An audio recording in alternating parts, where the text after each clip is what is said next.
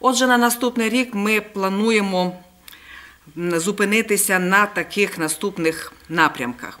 Це, по-перше, забезпечення 85% охоплення дітей дошкільного віку вихованням у дошкільних навчальних закладах, а також забезпечення 100% охоплення дошкільною освітою дітей е, п'ятирічного віку.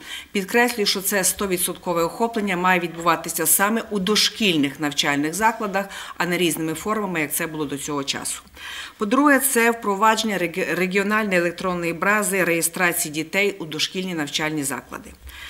Е, Так само дорученням президента на наступний навчальний рік визначено і збільшення відсотку охоплення е, дітей шкільного віку позашкільною освітою. Цей відсоток має досягнути 70. Е, Пов'язаним із сучасними вимогами є і проблема використання інформаційних технологій.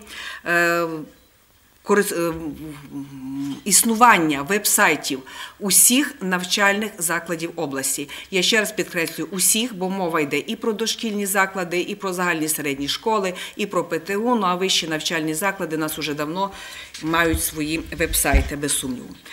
Е, На порядку денному в нас стоїть і оптимізація мережі навчальних закладів. Без сумніву, що ця мережа вже складалася роками і вона відповідає демографічним і е, національно-культурним потребам мешканців нашої області.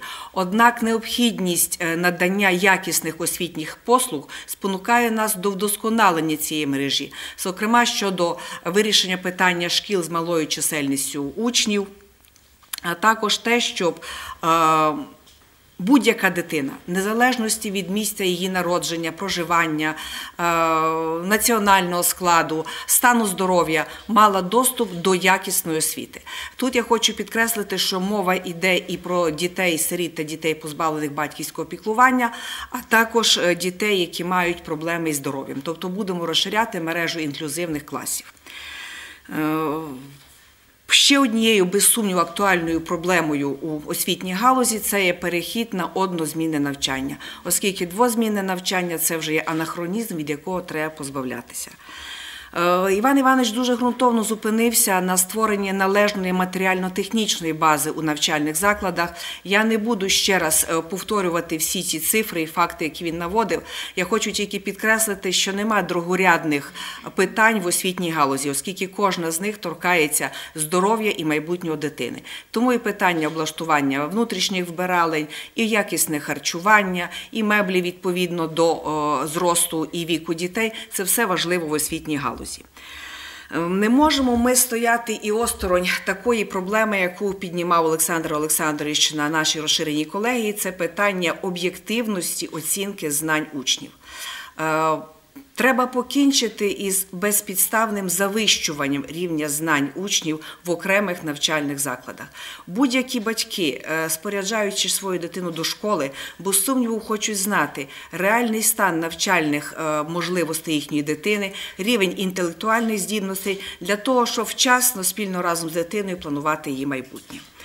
Ну і які ж новації нас чекають у новому навчальному році? Це продовжується реалізація нового стандарту е, державного у початковій освіті, тобто учні других класів. е, Які вже приступили до цього державного компоненту у першому класі, зараз починають вивчати новий предмет сходинки до інформатики. Наступна новація торкається учнів п'ятих класів, оскільки вони починають реалізацію е, державного стандарту у основній школі. І буде він е, реалізовуватися через е, вивчення другої іноземної мови, а також предмету інформатика.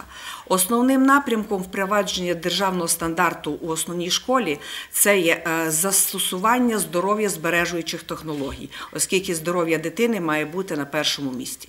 Крім того, пріоритетом буде розвиток природничої освіти, екологічної освіти, а також безпосередньо використання ІКТ.